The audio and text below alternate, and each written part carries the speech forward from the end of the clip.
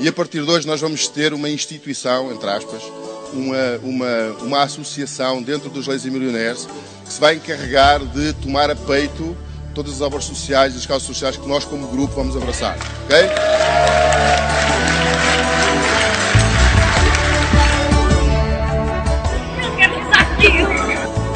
Esse grupo tem o nome Grupo de Ação Social.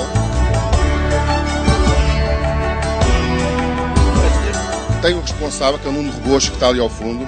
Foquem-se em ajudar as pessoas. Juntem-se a projetos sociais. Quem é que está aqui? Levantem a mão, por favor.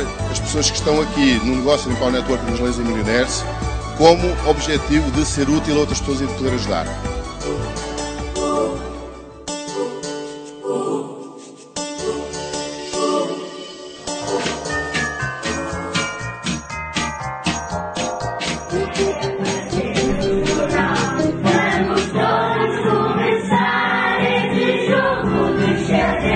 Missão Humanitária Guiné-Bissau.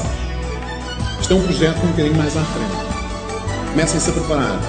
No início do próximo ano, nós queremos realizar esta ajuda para além fronteiras. É a vontade que eu tenho de partilhar com as outras pessoas o que de bom a vida me tem dado. não só vamos ajudar pessoas, como vai ser uma, uma aventura incrível, vai ser com certeza a aventura eh, da minha vida.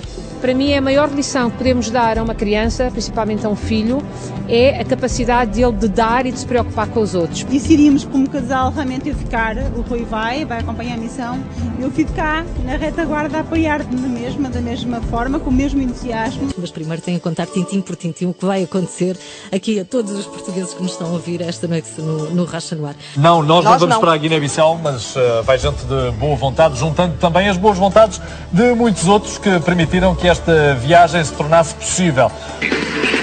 Companhia 107. Bom, e daqui a pouquinho, gente, daqui a pouquinho nós vamos estar falando sobre a missão humanitária na Guiné-Bissau. Daqui a pouquinho é, é, é aqui o grupo, né? Lazy Millionaires.